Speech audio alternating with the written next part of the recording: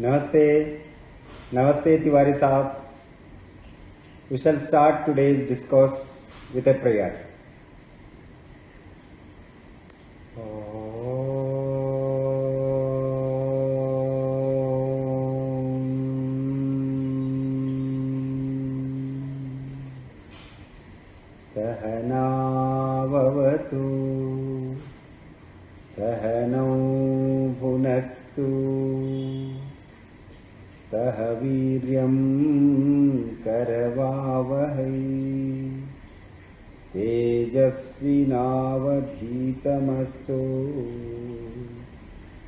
मा विद्विषावहै। ॐ शान्तिः शान्तिः शान्तिः।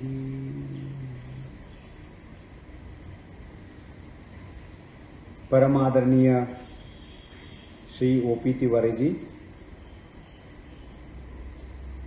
is my privilege to welcome you for this discourses by eminent yoga gurus of india on behalf of ministry of ayush government of india and also on behalf of uh, Morarji Desai National Institute of Yoga. I heartily welcome you, sir. So, Morarji Desai National Institute of Yoga and Kaivalya Dhama has a long association and both are working together for the promotion and development of yoga.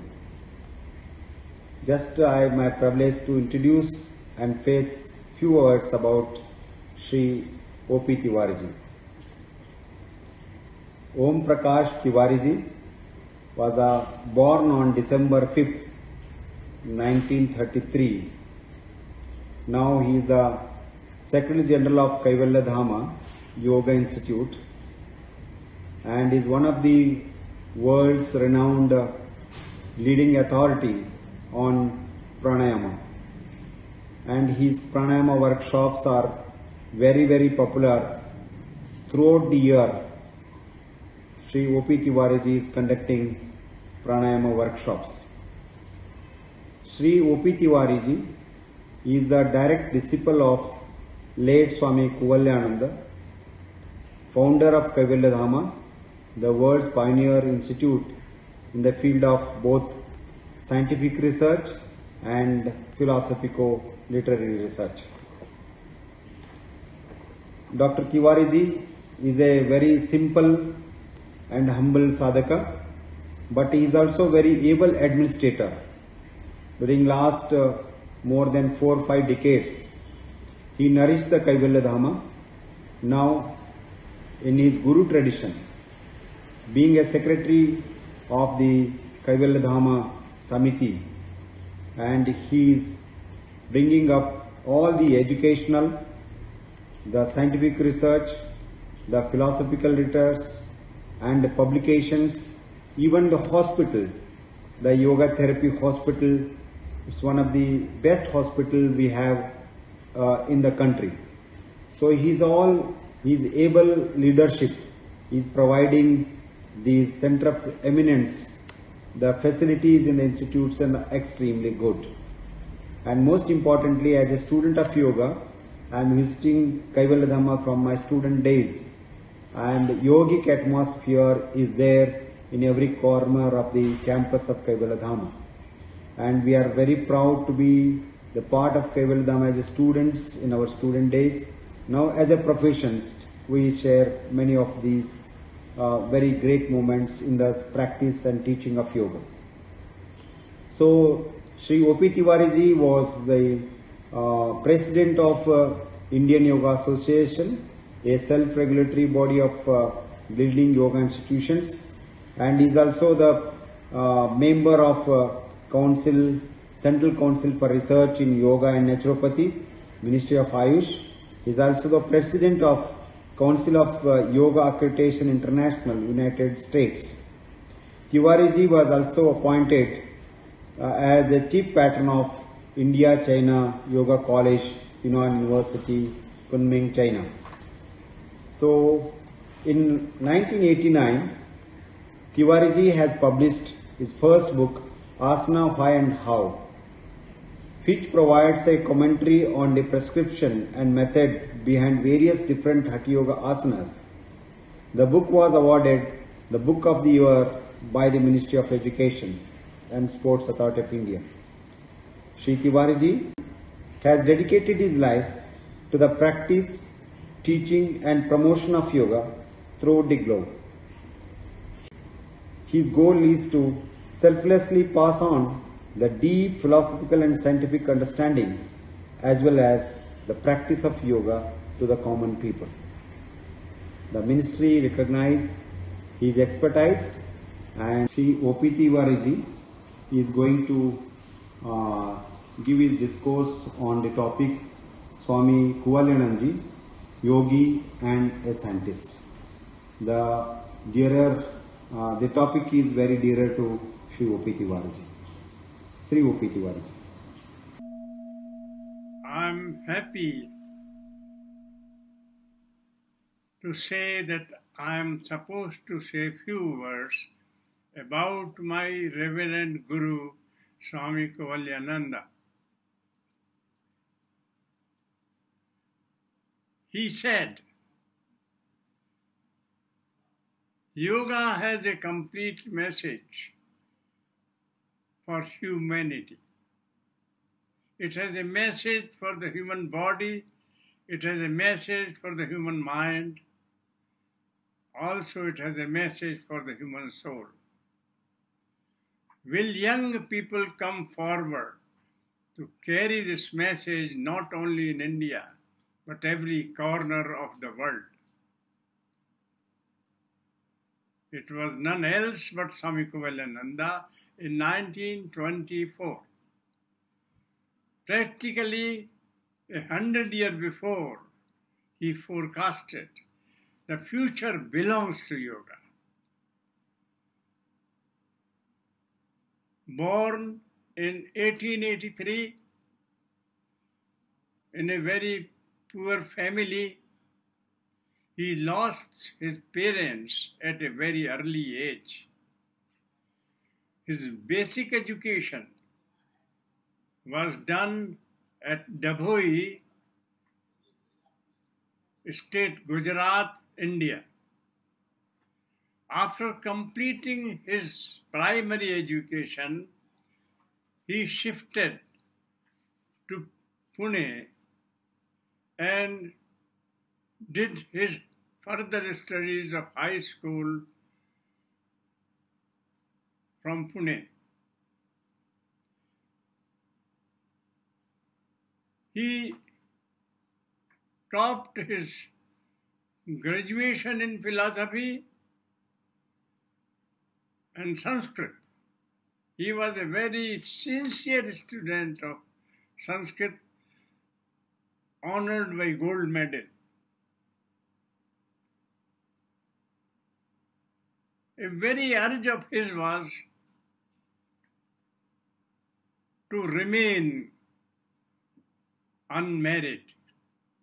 Therefore, he took two vows. One, not to serve under British rule, and second was to remain unmarried throughout his life. Later on,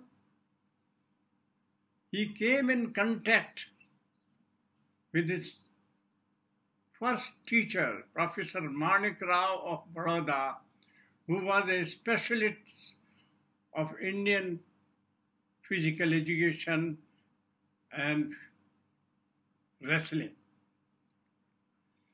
Swami lived with him for more than three years. Later on, his zeal was to run something very unique. And those days, the fame of Sri Madhavdas Maharaj, originally from Bengal, Chobis Pargana, was very, very famous. A completely realized soul. From Bengal, he moved to Gujarat and established, created a Satyanarayan Mandir of Malsar. Very famous place.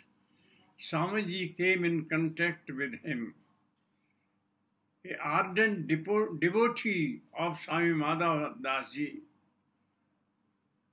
Once Sri Madhav appreciated his knowledge of yoga and said, Why don't you do some work in the scientific field so that you can tell the intelligent people of today what is the uh, real effect of yoga in their own language.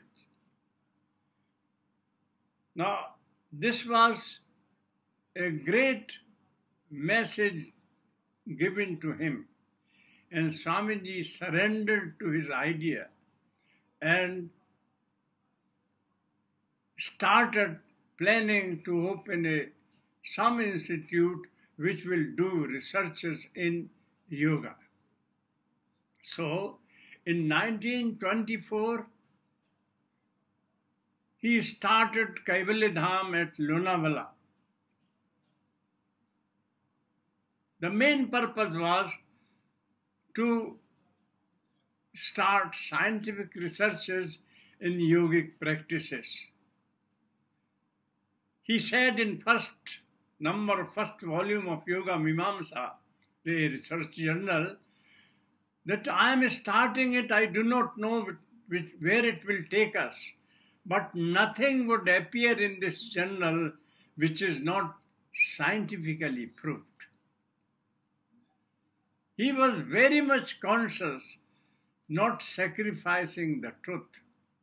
Therefore, in 1951, he decided to open a college of yoga. The famous Seksaria family donated 100,000 rupees to start this college, which was named as Govindaram Seksaria College of Yoga. It was the first college of yoga in India. It was, Swami did not believe in short courses. He did not think that yoga can be taught within a month. Therefore, he started his first diploma in yoga education. And it was for active two years course, diploma in yoga pravishta. I joined this course in 1957 when I left the Allahabad University after doing my MA in, from there. The minimum qualification required for this course was graduate. You can remember how sincere he was that a course of yoga cannot be taught unless one is graduate. And when Pandit Nehru was visiting Kaivalya Dham, there was a news and some details of the DS College of Yoga were there. I was attracted, I applied, I was accepted, and I did my diploma under his direct guidance. I devoted myself, totally surrendered to him, and I was with him for eight and a half years, actively teaching me, guiding me, sometimes be becoming very strict, and I was very careful to learn very, very sincerely, not very seriously. So he had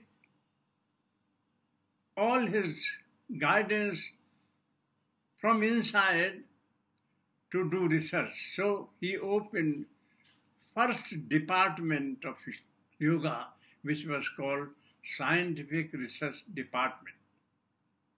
Because the college was already there, he could get the subject from the college. It became easy to do the researches for him. And results were all published in Yoga Mimamsa. Few findings of his are internationally known and appreciated. He found the negative pressure in the Udyan and Nauli. And that he, the first research he published that with Nauli, negative pressure is being developed, which was not known thing. And that creates so many things for the human body and human mind. After that, he practically explored all the asanas and pranayamas and detailing what is the right technique and what are the right results to be obtained from each practice. That was his beauty.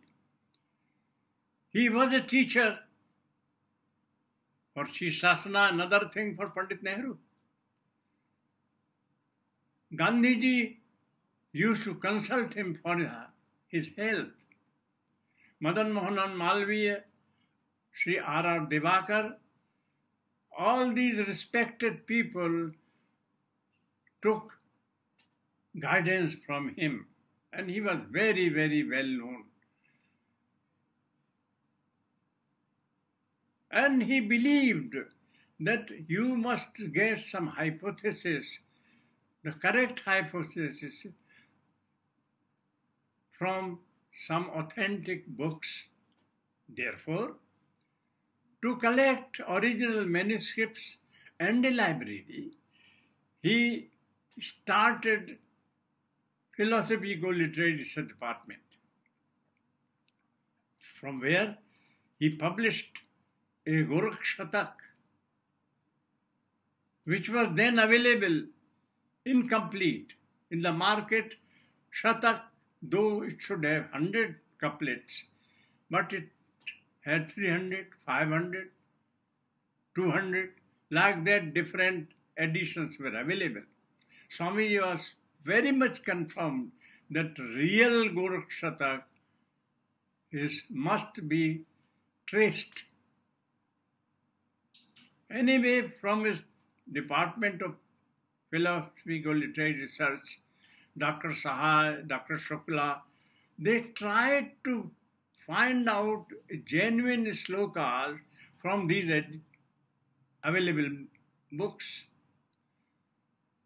And to utter wonder, when we found a real manuscript of Gorakshatak from India Office Library, London, it was exactly the same what our research staff found. And with that, the Gur Shatak was printed. The same happened with the Hatha Pradipika. The Hatha Pradipika, which is the original text of Hatha Yoga, it had four chapters. We were in search because there was no colophon. It thus ends the Hatha Pradipika and we were trying to know is there any other Hatha Pradipika. We collected 100, more than 100 manuscripts handwritten, and out of the, those, we found few manuscripts which had a fifth chapter which deals with the yoga therapy. It is unique, it is rare. So then Kaivalya Dham published Hatha Pradipika original with five chapters.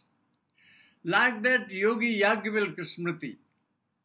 And the best one was Dictionary of Yoga. Swamiji really wanted to prepare encyclopedia of yoga, which he could not do while living, but we are now trying our best if we could bring out. We are working, our whole staff is working.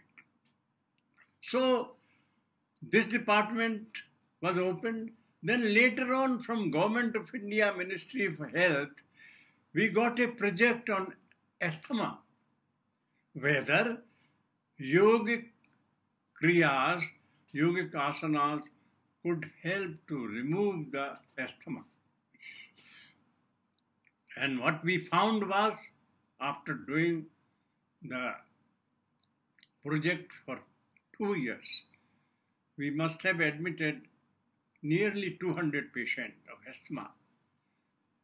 We, he told I asked Swamiji, he said, Tiwari, yoga cannot claim that it can 100% remove the asthma, but we are in position to say that people, those who are taking insulin, can be removed. The, it is much, much beneficial in asthma. And I know he will never say something which is not true. Same thing after that, he would say about the diabetes. Whatever the experiments were done, maybe now result may be different, but he could not find that yoga can cure diabetes 100%. Therefore, always he will say dependence on insulin can be reduced, but we cannot say that diabetes can be 100% cured. I'm talking this thing 1965. So, a unique person who cared about the yoga very much, just like he said in the beginning 1924 about yoga has a complete message. I remember those days in 1965 and April 66 when he was about to leave the body. He called me and said, Tiwari, he caught my hand and said, Tiwari, I have brought up this institution out of nothing. If it goes to nothing, I don't mind. But yoga should never be diluted. This was the personality of a yogi who was a researcher also. And I'm sure the future will always remember him as a person who was an original thinking, original scientist in nature. Thank you. I'm very thankful to you. बहुत बहुत धन्यवाद तिवारी साहब you have delivered an excellent uh, discourse and uh, given the complete picture of The life of a yogi as a scientist and also as a yogi. On behalf of Ministry of Ayush, I once again thank you for sparing your valuable time and enlightening our viewers. बहुत बहुत धन्यवाद ॐ शान्तिः शान्तिः शान्तिः